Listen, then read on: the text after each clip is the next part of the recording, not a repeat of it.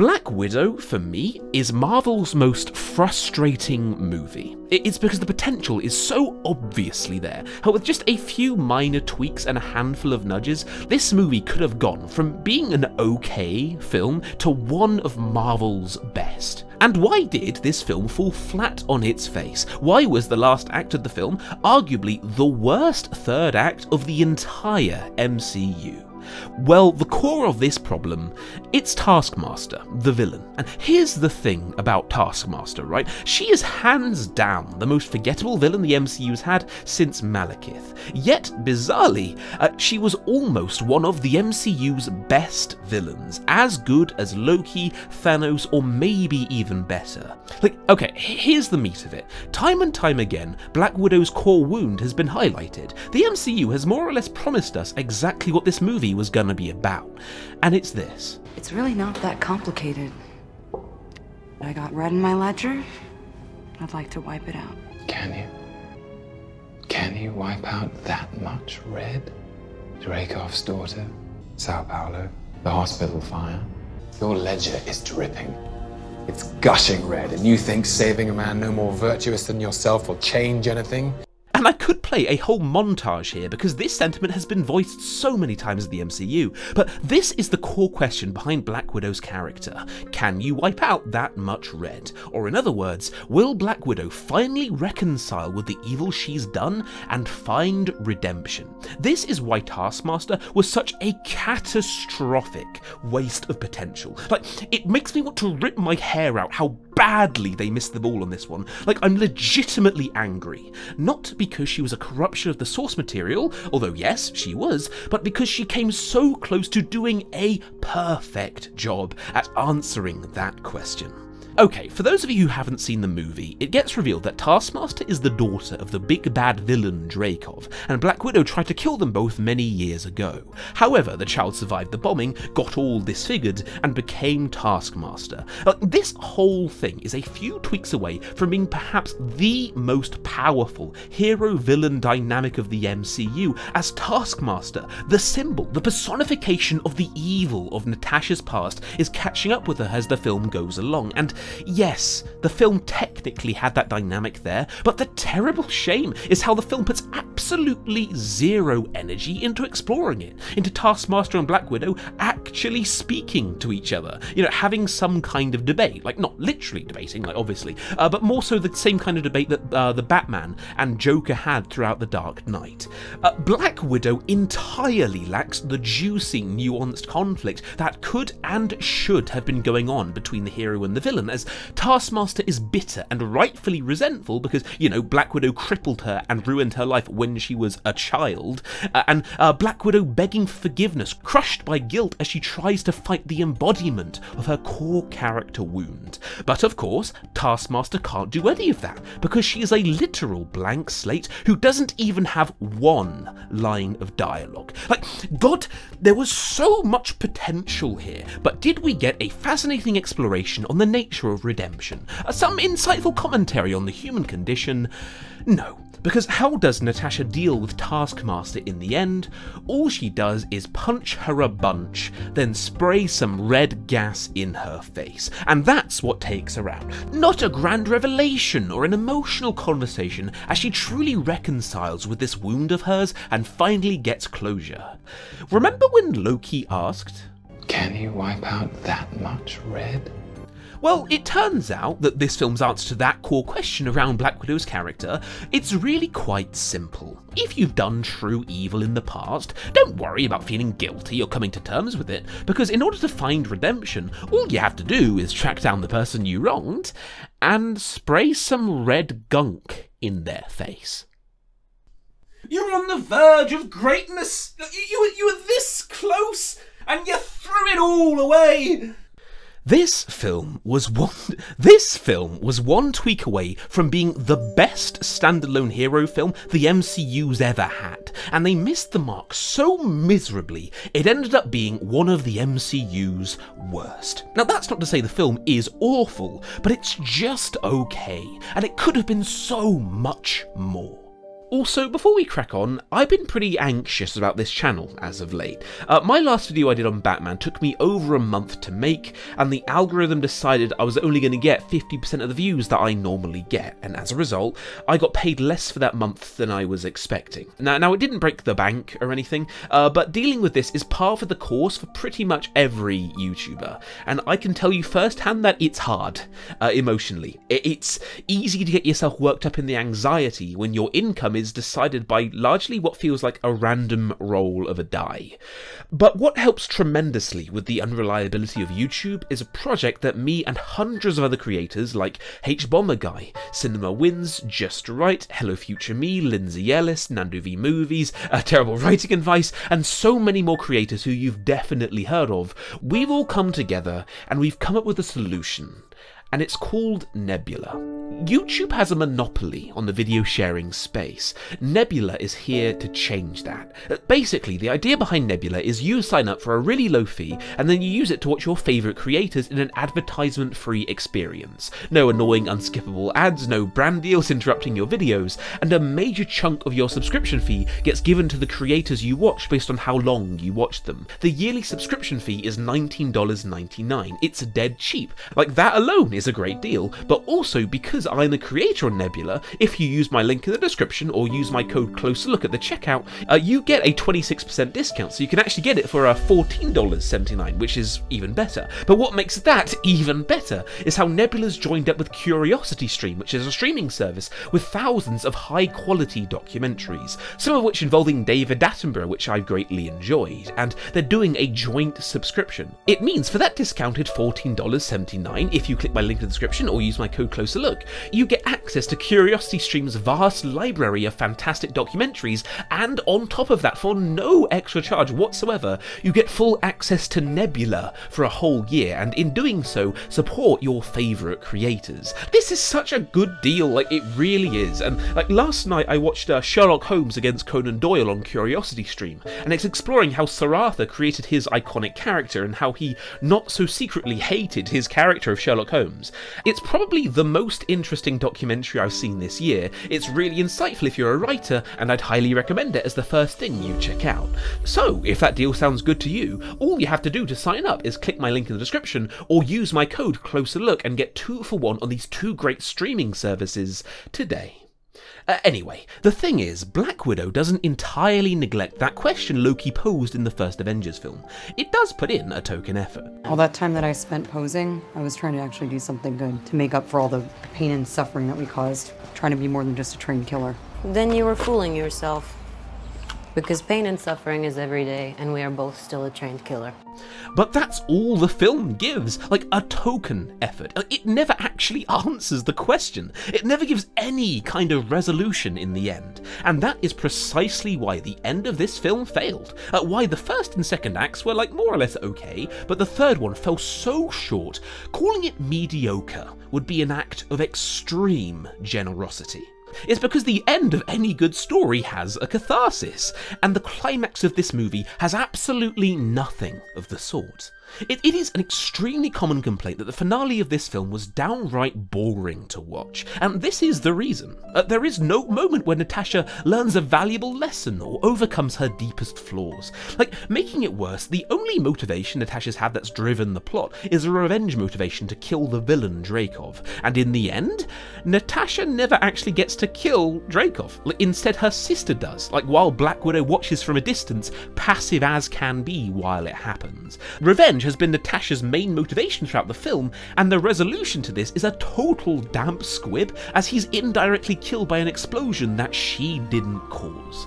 As villain deaths go, Dreykov's was the opposite of satisfying, and if there were to ever be any kind of story where you had to give a satisfying villain death, it would have to be in a revenge movie.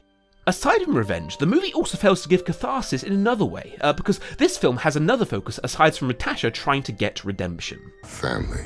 That's right, Dom, it's family. So Natasha was orphaned and spent a few years as a kid being raised by this surrogate family, and a huge chunk of the movie is focusing on them getting the band back together, rescuing their dad and finding their mother, all because they need them to hunt down the big baddie Dreykov. The movie really was onto something here. If you ask around, most people will say that the dynamics between the characters in this family was the highlight of the movie. Like even better, they start off bitterly hating each other and it ends with them loving each other. Like the movie has the foundation for a powerful character journey here.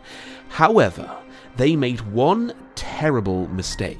A mistake that ended up being the final nail in the coffin as to how the final act lacked any kind of catharsis. And it's a very common mistake people make when writing character arcs and changing relationships. Uh, to put it simply, the film made the mistake of believing that a character merely changing constitutes an arc, when in fact, it doesn't. In order for any kind of character arc or changing relationship to come to a satisfying conclusion, you can't just have the characters change their feelings over time, like this film does. The characters also have to learn lessons and have revelations. If you want a pitch perfect example of a character arc slash relationship having a really satisfying conclusion, Pixar's Up is a fantastic example. In that film, Carl starts off as an old man going on an adventure to keep a promise promise he made to his late wife when they were children, uh, that he's going to take them both on an adventure to Paradise Falls. So Carl goes on this adventure after his wife's moved on, believing that keeping this promise is the right thing to do. But late in the film, just before the climax and the all hope is lost moment, when he's abandoned his new friend Russell, Carl gets out his wife's book and reads through it. He comes across the stuff I'm going to do section that she left empty, and Carl just cries because he never got to take his wife on that adventure adventure he promised her. But then, as he's closing it, he sees an edge of a photo and there's this total gut punch of a scene where we see the section of the book that was meant to be for her adventure to South America instead being filled with pictures of him and his wife. And, and Carl has this heartbreakingly cathartic moment that if you didn't cry out, like you are, that therefore means you are not a human being. As he realizes that he already gave her the adventure he promised her, he just didn't realize it. And the whole thing gets tied up wonderfully as his wife's penned in at the end, thanks for the adventure, now go have a new one. Like, like, I'm, I'm God, I'm getting teary like just thinking about it. Like that is how you do a character arc slash changing relationship. Because in order for it to come to a satisfying end, to really hit the audience hard in the feels, there absolutely must be a revelation. Otherwise, there will be no catharsis. And the problem with Natasha and her family, they never get that uh, Natasha just suddenly starts to love her surrogate family once the climax starts, and it doesn't feel earned. It instead feels like she has started to love her family because, and only because, of the fact that we've entered the third act. And that is the final nail in the coffin as to how this movie's third act ended up being as deeply unfulfilling as it was. Now, it's dead easy to criticise a film, so it's time for me to put my money where my mouth is, give a few tiny tweaks to this movie, and in doing so, hopefully elevate it from being merely an okay film into a vastly better one. So at the start of the film, after the prologue, Black Widow wakes up in a cold sweat, having nightmares about her dark past, reminding the audience of her blood-soaked ledger and showing that the evil she did still haunts her. Then Yelena, her sister, gives her an in-person visit. She says she's going to hunt down and kill Dreykov as revenge for all the evil, terrible things he forced them to do, how he turned them from children into monsters. Yelena wants to break her dad out of prison because he knows where Is, but she needs Natasha's help. She can't do this alone. Black Widow refuses, saying she's moved on, and Yelena calls her a liar, tells her how to find her if she changes her mind, then storms away. Uh, not much time later, Taskmaster comes after Black Widow like he did in the film, except this time there are no vials of anti-mind control drugs, he is just there to kill her. He gets within a hair's width of ending her, but she escapes just in the nick of time. Natasha then goes to a motel, tries to sleep, but again wakes up in cold sweats, having nightmares about all the evil she's done. That's when Natasha looks at the card Yelena gave her, crushes it in her fist, tears on her face, and she finally accepts the call to action. She hunts down her sister exactly as she did in the original film and tells her about this man who copied her abilities and nearly killed her. Yelena says she has no idea who this guy is. She's never even heard of him, but they both agree that he must be one of Dreykov's secret projects. They're laying out their plan for how they're going to bust their dad out of prison, but meanwhile, Dreykov's widows have tracked them down and are setting up around them in a perimeter with sniper rifles and whatnot, ready to kill the two of them. But then, that's when the widows start disappearing one by one. Uh, two of them aren't responding on the radio, and Dreykov's widows are panicking because something's obviously taking them out. Then we see Taskmaster as he comes up to one of the widows and effortlessly takes her out, then throws another out of a window to their death. What? This creates a bit of intrigue because Taskmaster was supposedly working with these people, but instead he's killing them? Ooh, like who, who is the guy beneath the mask? Like what's his deal? Very mysterious. Uh, but anyway, there's a big fight, just like we got in the film, as Taskmaster comes after Yelena and Natasha. Uh, they escape, and then later, Yelena asks Natasha what made her defect to S.H.I.E.L.D., and Natasha reveals that she was the first candidate of Dreykov's brainwashing. Uh, she was the first ever agent he tried the process on, but one day uh, she snapped out of her conditioning. She says on that day, she was on a mission to kill a politician and his wife, a mission where it was vital that she left no witnesses. Uh, she went through with it, but her intel was bad because their child was there. And Natasha, after killing the kid's parents in cold blood, aimed her gun at the kid, knowing the mission demanded for there to be no witnesses. And this child had just seen her face. But that was when Natasha finally cracked. She couldn't go through with it, and that was what broke her out of her conditioning and made her defect to S.H.I.E.L.D. Yelena says she was made to do far worse things than that, and none of that ever broke her free of the brainwashing. And Natasha says, well, she was the first one. He hadn't perfected the process back then. It was clearly flawed because she broke free from it on her own, but now he's clearly perfected it in the other widows.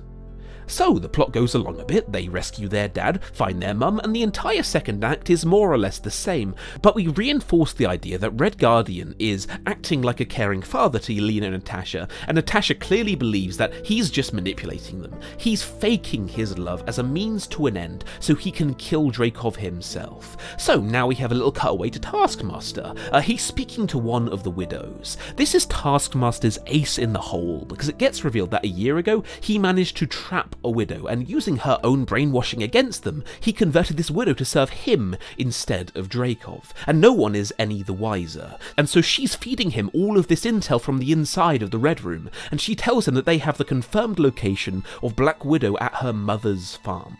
So, then we have a grand action scene as Taskmaster and the Widows all converge on this farm where Natasha and her family are. Taskmaster arrives first because the Widows are still getting organised. That's when Red Guardian takes him on, buying his girls time to escape, but getting his ass absolutely kicked in the process. And we have a little character moment here. We have a revelation when Natasha is using this window to run away, but she looks back at the fight, sees the two of them fighting, and is genuinely confused. Uh, she thought her dad didn't give a damn about her. He was just using her as a means to an end, but there he is, giving away his life so they might have a chance to live. That's when Natasha makes a decision and goes back to help her father, choosing to accept him as her family. Just as Taskmaster's blade comes plunging down, about to end Red Guardian's life, Black Widow comes in, saves him, and they have a fight, which again, Taskmaster wins. He is just too good. And as Black Widow is by her father on the floor, after she's all beaten up, Taskmaster finally takes off his helmet, revealing himself to be a young man who we've never seen before. But the horror is clear on Natasha's face, her jaw dropping as she looks up at him with a first person perspective shot of his face, and while showing that, we cut to a shot from long ago when Natasha chose to spare that child after murdering his parents, a child with a very similar face, and from this, the audience can realise that Taskmaster is the child she orphaned all those years ago. The, the revelation strikes Natasha hard, and Taskmaster says something about how she murdered his family. So he's going to do the same to her. And so he beats down Red Guardian, brutalizing him, beating him with an inch of his life, and he gets his gun out, about to kill him as Natasha screams for mercy. That's when Dreykov's widows finally come in, guns blazing, Taskmaster gets taken out, and all three of them get captured. Now, the climax. Taskmaster and Natasha are put into opposite cells so they have a chance to talk, and he drills into her the guilt, accusing her of being worse than the monsters she fights. How does she deserve to live when she's taken so many innocent lives? Natasha cracks up saying she's sorry, but she didn't actually do any of those things. She was being mind controlled by Dreykov. She had no control over her actions. But Taskmaster doesn't want to hear a word of it, doubling down, promising that he will will kill her. Then Dreykov comes in, saying he's really quite impressed with Taskmaster, so he immediately begins the indoctrination process, uh, tying him into a chair, converting Taskmaster into his loyal agent because he'd just be such a useful asset to have. But that's when Taskmaster's inside widow, the one he has under his influence, kills the scientists and breaks him out of his chair. Taskmaster then goes straight for Natasha in her cell, seeking to end her life, but of course, Natasha breaks out before that and confronts Dreykov as she's going to end it, as she has him at gunpoint. And don't worry, there are no pheromones, don't worry, like, God, that was awful. Uh, instead, uh, Natasha accuses him of using her as a mindless slave to murder innocent people, of brainwashing her. And bizarrely, Dreykov frowns, then looks confused, then holds a look of understanding and that's when he starts to laugh, holding his belly, barking out a laugh of genuine amusement, as if she's told him an extremely funny joke. But she's not having any of it. She hits him and he collapses, but he's still having the time of his life as he looks up at her and reveals the bombshell that Natasha was never brainwashed. Yes, it's true he conditions his agents and erases their free will, but he only started doing that after she defected. In, in fact, it was her defecting to S.H.I.E.L.D. that inspired him to start indoctrinating his agents to prevent any of them from betraying him again. He reveals that she had, and always has had, full free will. Every time she pulled that trigger, every innocent person she killed she chose to. And it turns out that her belief that she was being mind controlled was nothing but a coping mechanism. A fantasy she made up so she could protect her mind from absolutely crumbling to dust under the guilt of it all. And Natasha's composure deteriorates. Uh, Dreykov smiles and says, Go on, what are you waiting for? Shoot me. What better way for a murderer to redeem themselves than to murder some more? And Natasha can't. She, she just can't shoot him.